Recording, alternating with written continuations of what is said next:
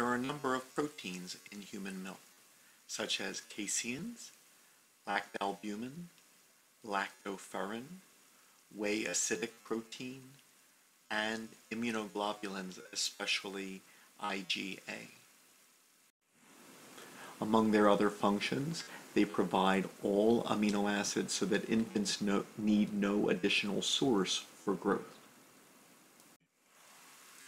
On human chromosome 4q21, the long arm, there is a cluster of four casein genes at, which have resulted from duplications of an ancestral gene, the alpha S1, beta, alpha S2, and kappa casein genes.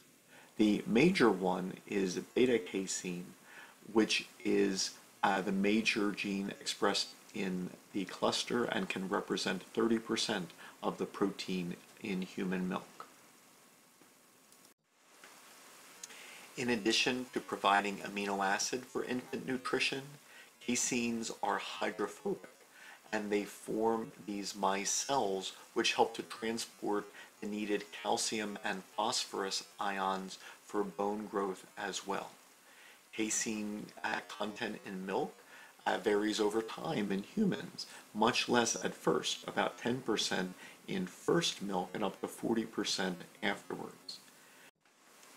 There are also species differences. Some species produce far more casein in milk, especially if their young grow more quickly and wean more quickly. It can represent 80% of the milk protein in cows. Lactalbumin evolved from a duplication of the lysozyme gene, which is an enzyme. Lactalbumin no longer performs this enzymatic function, but it does act in conjunction with another enzyme to promote the synthesis of the disaccharide lactose or milk sugar. Mice without the lactalbumin gene produce little or no lactose in their milk.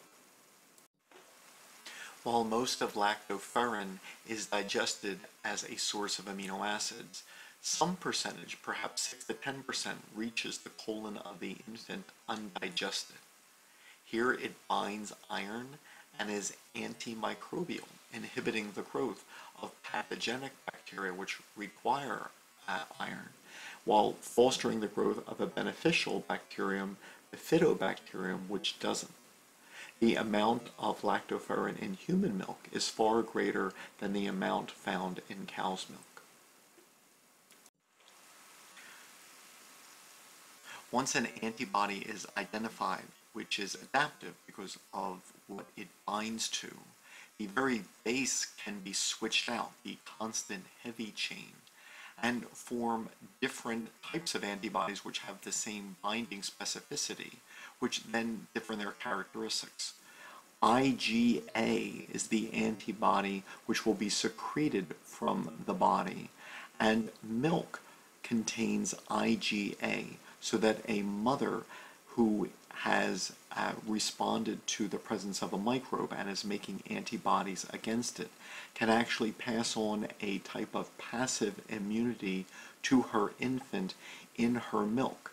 The IgA antibodies will bind the microbe and this will protect the infant from microbes which have been encountered in the environment.